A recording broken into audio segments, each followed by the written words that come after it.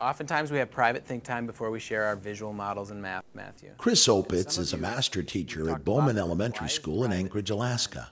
He views math as a social activity and believes taking time to impart the skills required for cooperative learning can lead to calmer classrooms and more rigorous studies. Why is private think time important before we have our discussions? Um, Sadie, what are you thinking? This fifth grade math class was recorded during the first month of the school year. At the beginning of the year, we established a set of working agreements. But I provide four categories. I provided speaking, listening, thinking, and, your, and behavior. And that's really social emotional learning. Then we did an exercise where the kids thought about and kind of imagined a great classroom, like the, the best place where they could possibly be learning. And what would that look like in each of those categories? And so we, we took all of those ideas and we developed what's called our working agreement. Um, and then kids look at that consistently and set goals from that. And then they rate themselves. Um, you know, today I did a great job and they provide an explanation and evidence of, of the rating in terms of those goals. Um, also, we do a lot of discussion, and, and, that's another area. Kids did the same thing. They worked together and, and thought of what a great discussion is. It, it wasn't kids raising their hands, it was kids bouncing ideas off each other. I, I personally believe when, when kids ha have some say in making those rules and those routines and those working agreements, um, they're going to own them more. So I'm going to give you your first model. We're probably going to go around and do a fishbowl where we stand around the outside and we're going to watch and really think about uh, what a good discussion looks like. How we talk and how we listen, how we ask questions, all of those good things that you guys do very, very well. So here's your first model. Please honor the private think time. Want me to read it with you? Mike has $8. Kelly has twice as much as Mike. Do you know what that word twice as much means?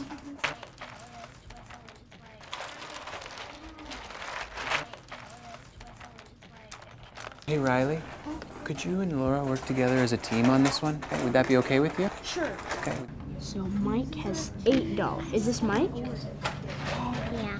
Okay, so in any classroom, anywhere you go, you're going to have an incredibly broad range of, of kids, socially, academically, all across the spectrum.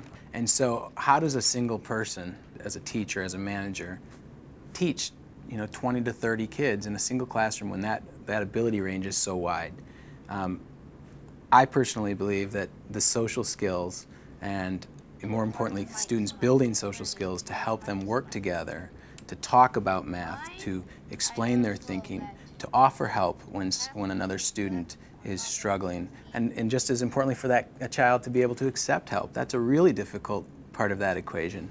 All of those skills are part of the social arena that we're working in. And without them, I don't know how you could teach a classroom with such a broad range of abilities. How do you want to make this model?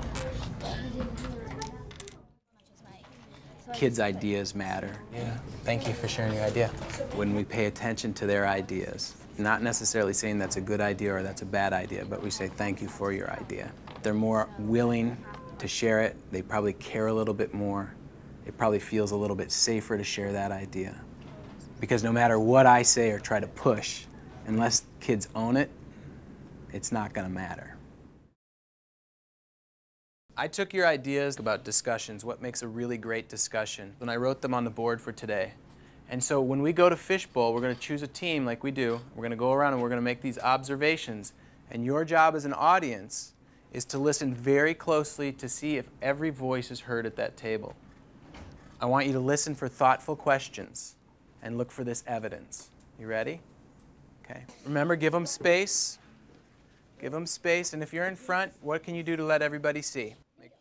Audience, our voices are off. We're just going to look for evidence of a really great discussion, and then we're going to talk about that afterwards. I began using the fishbowl, having kids really closely observe other kids in discussion, identifying particular types of language, ways to ask questions, um, how to use manners when disagreeing, um, how to choose, as simply as how to choose to, who speaks first. I'll start. In a fifth and sixth grade classroom, we, we wouldn't expect that, but boy, it can derail a classroom instantly if they don't have those basic skills. And once that foundation is built, then, then the academics can be so much more thoughtful, so much more intense, Um, and that's what we're shooting for. So Mike started with eight, Kelly had twice as much as Mike, and Joe had half as much as Kelly. Every teacher out there has probably said at some point in time, turn to your neighbor and talk about this idea. Look at your teammates and talk about this idea. Actually, I, I'm not quite getting. Why did you do those shapes there? Because I, it looked cool. and really watch. If they are talking about the topic that you've asked them to talk about, if they're actually listening to each other and using that language and those social skills, then all of a sudden you have an environment where 30 kids are all learning at the same time. And how would you get three even if you did the half of eight? That's four. Is that right? I don't know how I got three. It's not going to happen at the beginning of the year, but in my opinion, the efficiencies that you'll gain later um, by far outweigh the time that you spend at the beginning teaching those basics. Kaylee, I was standing behind you and I, I kept hearing a lot of questions coming your way. How did that make you feel? I don't know. I mean, you know that sometimes when people ask me a lot of questions fast in a row, I get kind of nervous. Do you know what I mean? And I can't, my thoughts, I kind of lose my own thinking. Does that happen to anybody else when somebody says, hey, Riley, hey, Riley, did you, what's, what's the answer to, but do you know what I mean? Oh, yeah. Yeah, and you get a little nervous, but that's all right. That's part of our learning. Oh. And so I want you to feel comfortable with that. That's okay to feel that way. Right now, we're going to have the observers are going to discuss a little bit and make some comments. Audience, what, what are some things that you noticed? Okay.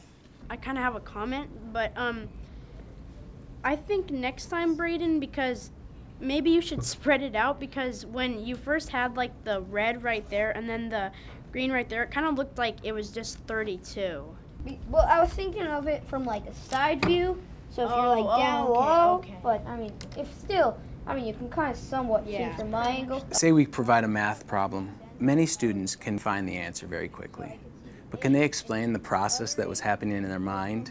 Can they explain it to somebody that doesn't understand it? You take a really gifted kid, for example, and you have them try to explain a multiplication problem, a very basic one. They know the answer like that. And try to have them explain it to somebody that it doesn't come so quickly to. Um, it's, an, it's an amazing activity to watch, to see them think through the process. Oh, well, I know that three times four is three groups of four, or four groups of three, and here's how I see it, and here's what it looks like visually, and that's how I get to this answer. It's, a, it's an entirely different skill to be in, in tune with your own thinking. And so, in order to do that in the classroom, those so- social skills need to be in place. Okay, for closing today, you're going to go to your math journals and you're going to write. By spending some time developing these routines and helping kids learn social and emotional skills where they can manage themselves and their, and their interactions with others, the classroom will be a better place to be and the academics will also um, be, have the opportunity to be more rigorous and thoughtful. Um, and I, I've seen it work in my classroom and I believe it can work in other classrooms. For more information on what works in public education, go to edutopia.org.